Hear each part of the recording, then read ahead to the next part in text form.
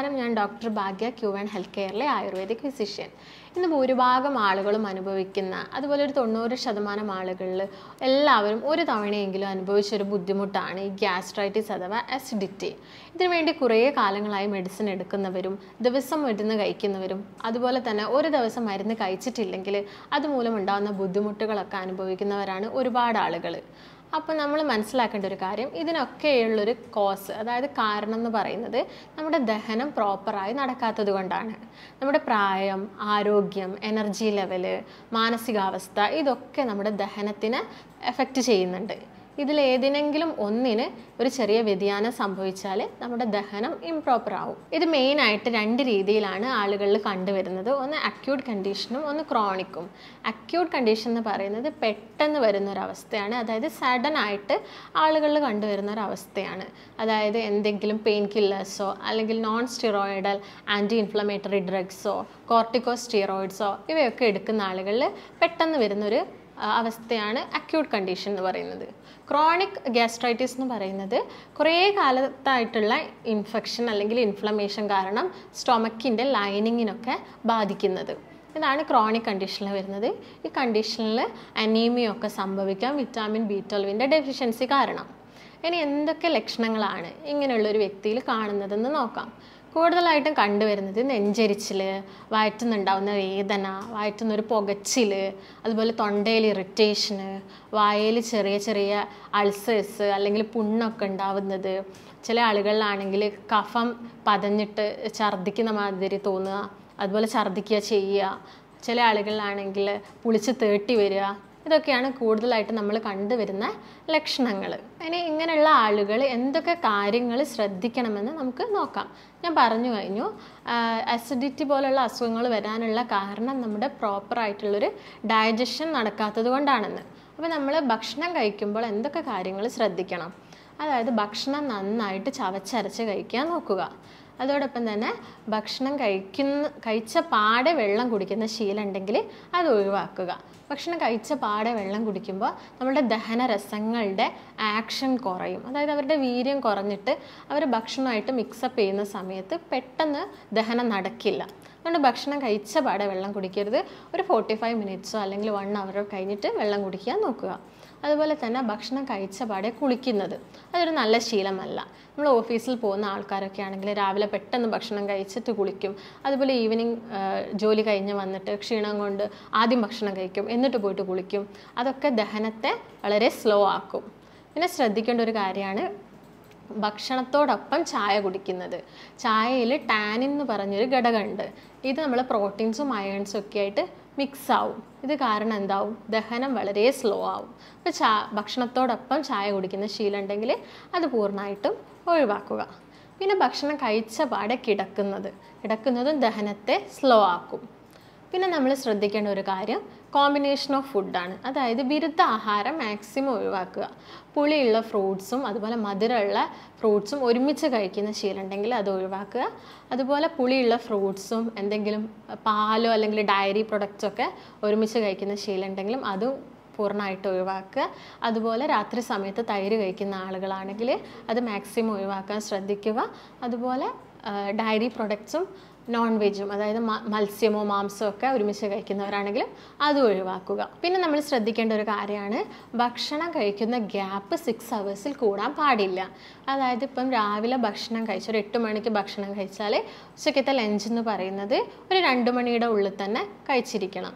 ഇല്ലെങ്കിൽ കൂടുതലായിട്ട് നമ്മളെ ദഹനം സ്ലോ ആവുകയും കൂടുതൽ ആസിഡൊക്കെ ഉൽപ്പാദിപ്പിക്കുകയൊക്കെ ചെയ്യും. പിന്നെ ശ്രദ്ധിക്കേണ്ട ഒരു കാര്യം എന്ന് പറയുന്നത് ബ്രേക്ക്ഫാസ്റ്റ് ഒരിക്കലും സ്കിപ്പ് ചെയ്യരുത്. നമുക്കറിയാം ബ്രേക്ക്ഫാസ്റ്റ് എന്ന് പറയുന്നത് ബ്രെയിൻ ഫുഡാണ്. അപ്പോൾ നമ്മൾ തലേ ദിവസം കഴിച്ചിട്ടായിരിക്കും കിടക്കുക. പിറ്റേ ദിവസം രാവിലെയും കഴിച്ചിട്ടില്ലെങ്കിൽ വലിയൊരു ഗ്യാപ്പ് തന്നെ ഉച്ചക്കത്തെ ലഞ്ച് കഴിക്കുന്ന സമയം വരെ വലിയൊരു ഗ്യാപ്പ് വരും. അതുകൊണ്ട് ബ്രേക്ക്ഫാസ്റ്റ് എന്തായാലും കഴിക്കുക. അതുപോലെ നമ്മൾ ശ്രദ്ധിക്കേണ്ട ഒരു കാര്യമാണ് കുറേ ദിവസം ഫ്രിഡ്ജിൽ വെച്ച് കഴിച്ച ഫ്രിഡ്ജിൽ വെച്ച ഭക്ഷണം. അതായത് കുറേ ദിവസം ഫ്രിഡ്ജിൽ ഭക്ഷണം വെക്കുകയാണെങ്കിൽ അത് പഴകും. അത് കഴിക്കുകയാണെങ്കിൽ നമുക്ക് ഉന്മേഷക്കുറവൊക്കെ ഉണ്ടാവും. അപ്പം ഭക്ഷണം കഴിക്കുമ്പോൾ നമ്മൾ ഇത്രയും കാര്യങ്ങൾ ശ്രദ്ധിക്കണം. ഇനി അസിഡിറ്റി അല്ലെങ്കിൽ ഗ്യാസ്ട്രൈറ്റിസ് നമ്മൾ കറക്റ്റ് സമയത്ത് ട്രീറ്റ് ചെയ്തിട്ടില്ലെങ്കിൽ എന്തൊക്കെ കോംപ്ലിക്കേഷൻസ് ആണ് ഉണ്ടാവുന്നതെന്ന് നോക്കാം. മെയിനായിട്ടും അത് പിന്നീട് അൾസേഴ്സ് ആയിട്ട് മാറാനുള്ള ചാൻസ് ഉണ്ട്. അതായത് സ്റ്റൊമക്ക് അൾസേഴ്സ് ഒക്കെ. പിന്നീട് അത് ബ്ലീഡിംഗ് ഒക്കെ ആയിട്ട് മാറും. അത് ഇന്റേർണൽ ബ്ലീഡിങ്സ് എന്ന് പറയുമ്പോൾ ശരീരം മുഴുവൻ അതായത് നമ്മുടെ എല്ലാ ഓർഗൻസിലോട്ടും ബ്ലീഡിങ്സ് ഒക്കെ ഉണ്ടാവാനുള്ള ചാൻസ് ഉണ്ട്. അത് പിന്നെ ചില മാലിഗ്നൻ കണ്ടീഷനിലോട്ടൊക്കെ നയിക്കും. അപ്പം അത് ഒന്നാമത് അൾസർ ആവാനുള്ള കാരണമാണ് മെയിൻ ആയിട്ടുള്ള ഒരു കോംപ്ലിക്കേഷൻസ് എന്ന് പറയുന്നത്. പിന്നെ ഞാൻ പറഞ്ഞു ബ്ലീഡിങ് ഉണ്ടാവാനുള്ള ചാൻസ് ഉണ്ടെന്ന്. അത് കാരണം അനീമിയ ഒക്കെ സംഭവിക്കാം ശരീരത്തിൽ അതുമൂലം ഹാർട്ട് പാൽപിറ്റേഷൻസ് കൂടാം ഷോർട്ട്നെസ് ഓഫ് ബ്രത്ത് ഉണ്ടാവാം. അതായത് ശ്വാസം മുട്ടോ അല്ലെങ്കിൽ ശ്വാസ തടസ്സമൊക്കെ കൂടുതലായിട്ട് കാണാം. ചില ആളുകളിൽ നമ്മൾ വൊമിറ്റിംഗ് ഒക്കെ കാണാറുണ്ട്. ഈ വൊമിറ്റിംഗ് ഉള്ളത് കാരണം ഡീഹൈഡ്രേഷനൊക്കെ സംഭവിക്കാം. ഇത്രയൊക്കെയാണ് ആളുകളിൽ കൂടുതലായിട്ടും കണ്ടുവരുന്ന കോംപ്ലിക്കേഷൻസ് അപ്പോൾ ഇതിന് വേണ്ടി നമുക്ക് ചെയ്യാൻ പറ്റുന്ന കുറച്ച് ഇൻവെസ്റ്റിഗേഷൻസ് എന്തൊക്കെയാണെന്ന് നോക്കാം. മെയിനായിട്ട് നമ്മൾ ബ്ലഡ് ടെസ്റ്റ് ചെയ്യുന്നു. അതിൽ C B C complete blood count എത്ര ഇൻഫെക്ഷൻ എത്ര ഉണ്ട് എന്നൊക്കെ മനസ്സിലാക്കാൻ വേണ്ടിയിട്ട് നമ്മൾ സി ബി സി ചെയ്യുന്നു. അതോടൊപ്പം തന്നെ നമ്മൾ ചെയ്യുന്നതാണ് എൻഡോസ്കോപ്പി എൻഡോസ്കോപ്പി എന്ന് പറയുന്നത് ഇത് ഈ ഗ്യാസ്ട്രൈറ്റിസ് ഉള്ള ആളുകളിൽ പിന്നീട് അത് അൾസർ ആയിട്ടുണ്ടോ എന്നൊക്കെ നോക്കാൻ വേണ്ടിയിട്ട് നമ്മൾ എൻഡോസ്കോപ്പി ചെയ്യുന്നു. അപ്പർ ജി ഐയുടെ എൻഡോസ് എൻഡോസ്കോപ്പിയാണ് നമ്മൾ കൂടുതലായിട്ടും ചെയ്യുന്നത്. അതോടൊപ്പം നമ്മൾ ചെയ്യുന്നു ലിവറിന്റെ function test kidney function test അതുപോലെ പാൻക്രിയാസ് ഗോൾ ബ്ലാഡർ ഇതിന്റെയൊക്കെ ഫങ്ഷൻ ടെസ്റ്റ് നമ്മൾ ചെയ്യുന്നുണ്ട്. കാരണം ഇത് മറ്റുള്ള ഓർഗൻസിലോട്ടും പിന്നീട് ബ്ലീഡിംഗ് ഒക്കെ ഉണ്ടാവാനുള്ള ചാൻസ് കൂടുതലാണ്.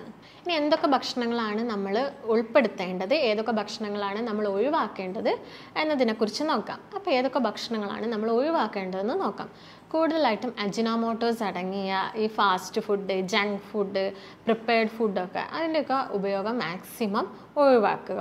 അതുപോലെ തന്നെ soft drinks packaged foods bakery items മൈദയൊക്കെ കൂടുതൽ ഉപയോഗിച്ചുണ്ടാക്കുന്ന ഭക്ഷണങ്ങൾ ഇവയൊക്കെ ഉപയോഗിക്കുന്നത് കുറയ്ക്കാൻ ശ്രദ്ധിക്കുക. അതോടൊപ്പം തന്നെ നിങ്ങൾ ശ്രദ്ധിക്കേണ്ട ഒരു കാര്യമാണ് വെറും വയറ്റിൽ പുളിയുള്ള ഭക്ഷണങ്ങളൊന്നും കൂടുതലായിട്ടും കഴിക്കരുത്. അതുപോലെ തണുത്ത ഭക്ഷണം കുറ കഴിക്കുന്നത് മാക്സിമം ഒഴിവാക്കുക. ഒരു ചെറിയ ചൂടോടു കൂടി വേണം ഭക്ഷണങ്ങളൊക്കെ കഴിക്കാൻ പിന്നെ അതുപോലെ തന്നെ ടൊമാറ്റോ സോസ് ഉപയോഗിച്ചിട്ടുള്ള കറികൾ കെച്ചപ്പ് ഇതിന്റെയൊക്കെ ഉപയോഗം പരമാവധി കുറയ്ക്കുക. ഇനി എന്തൊക്കെ ഭക്ഷണങ്ങൾ ഉൾപ്പെടുത്തണമെന്ന് നോക്കാം. പ്രോബയോട്ടിക്സ് അടങ്ങിയ തൈര് മോര് അതുപോലെ സംഭാരം യോഗട്സ് ഇവയൊക്കെ കൂടുതലായിട്ടും ഭക്ഷണത്തിൽ ഉൾപ്പെടുത്തുക. നമുക്കറിയാം എന്താണ് ഈ പ്രോബയോട്ടിക്സ് നമ്മുടെ ശരീരത്തിൽ ചെയ്യുന്നതെന്ന്. ഒരു ഗട്ട് മൈക്രോബയോമിന്റെ ഹെൽത്തിന് വേണ്ടിയിട്ട് ഇവർ വലിയൊരു പ്രധാന പങ്ക് വഹിക്കുന്നുണ്ട്. അതായത് നല്ല ബാക്ടീരിയാസിന്റെ ഗ്രോത്തിന് വേണ്ടിയിട്ടാണ് പ്രോബയോട്ടിക്സ് നമ്മൾ കഴിക്കുന്നത്.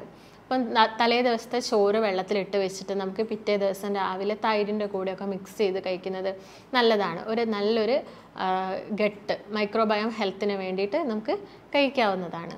അതുപോലെ തന്നെ ഈ അസിഡിറ്റി ഒക്കെ കൂടുതലായിട്ട് വരുന്ന ആളുകളാണെങ്കിൽ ഭക്ഷണം കഴിക്കുന്നതിന് മുമ്പ് വലിയ ജീരകമോ അല്ലെങ്കിൽ പെരിഞ്ജീരകമോ അല്ലെങ്കിൽ ഒരു കഷ്ണം ഇഞ്ചിയൊക്കെ ചവച്ച് കഴിക്കാവുന്നതാണ്.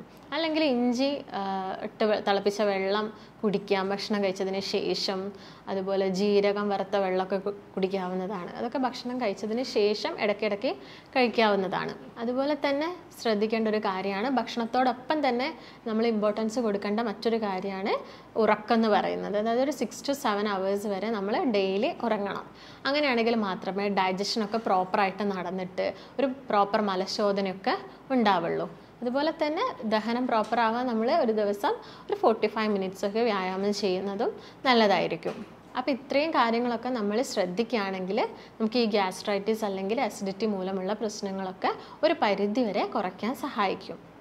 അപ്പം ഇത്തരം കംപ്ലയിൻസ് ഒക്കെ ആയിട്ട് പേഷ്യൻസ് നമ്മുടെ ക്ലിനിക്കിൽ വരികയാണെങ്കിൽ നമ്മൾ അവരുടെ കണ്ടീഷനൊക്കെ മനസ്സിലാക്കിയിട്ട് അവരെ നന്നായിട്ട് അനാലിസിസ് ചെയ്തിട്ട് അവർക്കൊരു പ്രോപ്പർ ഡയറ്റും അതുപോലെ തന്നെ പ്രോപ്പർ മെഡിക്കേഷൻസും ഒക്കെ നമ്മൾ നൽകുന്നതാണ്. അപ്പോൾ നിങ്ങൾക്ക് എന്തെങ്കിലും സംശയങ്ങളോ കാര്യങ്ങളോ ഉണ്ടെങ്കിൽ താഴെ കാണുന്ന നമ്പറുമായിട്ട് ബന്ധപ്പെടാവുന്നതാണ്. നമുക്ക് മറ്റൊരു വീഡിയോ ആയിട്ട് വീണ്ടും കാണാം. നന്ദി.